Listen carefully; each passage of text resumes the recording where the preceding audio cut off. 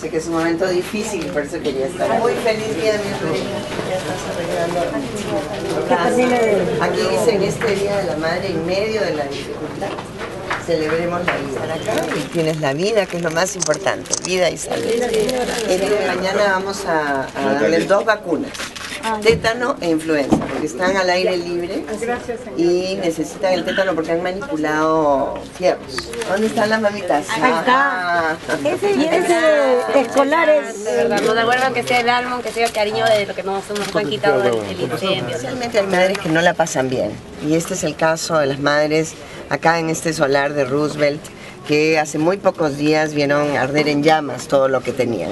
Y eh, con la ayuda de las autoridades, pero sobre todo con la ayuda de Dios y con su propio emprendimiento, carácter y voluntad, han salido adelante, han vuelto a recuperar eh, el solar donde vivían y están hoy día acomodándose dentro de las zonas seguras, como lo ha dicho Defensa Civil.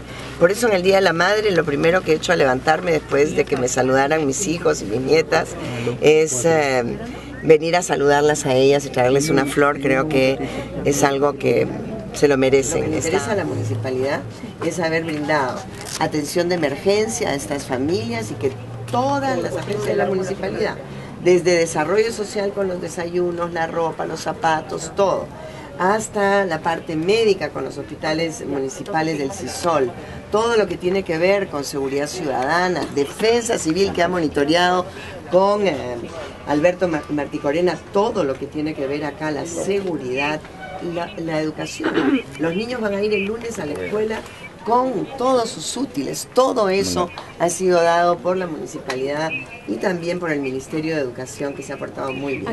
Y las madres de estas familias que vieron arder todo lo que poseían, todo lo que habían acumulado durante toda su vida con gran esfuerzo, a todas ellas de manera especial hay que darles un gran abrazo, porque necesitan mucho ánimo, mucha energía para salir adelante.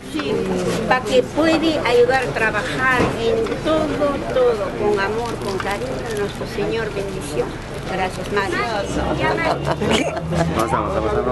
Listo. Gracias, mi reina. Gracias a todos. Gracias. Feliz día, pásalo muy bueno.